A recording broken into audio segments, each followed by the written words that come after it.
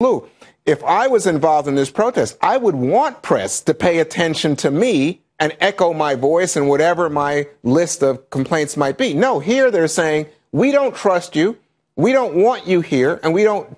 I, we ideally want to control what you have to say. And they don't want a public record of what they are doing, nor do they want to have, they, the demonstrators, uh, any questioning of their judgment, even as they question the judgment of the institution itself.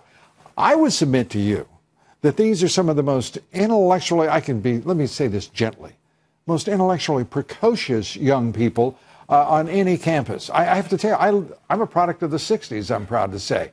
We had our views as students and we made them heard, uh, and we upset people.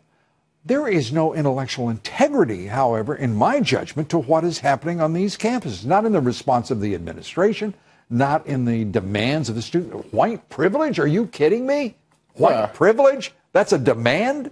Well, that's I, an absurd. They theory. wanted the president to speak to this white privilege idea in a way that reminds me of when those students from, I don't think they're students, but the folks involved with Black Lives Matter met with Hillary Radical Clinton. Radical activists, we right. can say that. And, and so what they said to Hillary Clinton was, we want to know if you acknowledge white privilege. And Hillary Clinton said, I could be in Yankee Stadium and do it. What difference does that make at this point? What we want to do is talk about things that amount to change. Yeah. Now, I don't want to get lost. I don't know what, what complaints the students had per se, but well, the idea of violating free speech well, and, at a liberal Yale, arts institution. Yale, the contest, the, the contest there uh, between free speech uh, and asserting uh, their, their, you know, I, it, it's getting preposterous. Well, it's a, it's a joke, but the, the sad part is it's a joke on these young people, and specifically, I'm thinking about the young black people who may have legitimate arguments and complaints. I understand somebody was arrested and all the rest today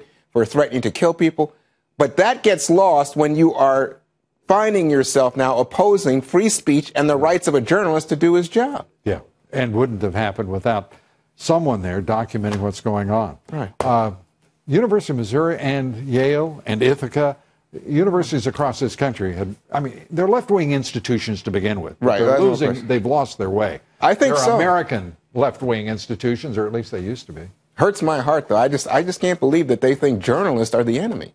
Yeah, well, they think America's the enemy too. So uh, I just say I've got one thought for them on that. Tell me. The hell with them. well, you're so well, direct. Thanks so much. I appreciate it.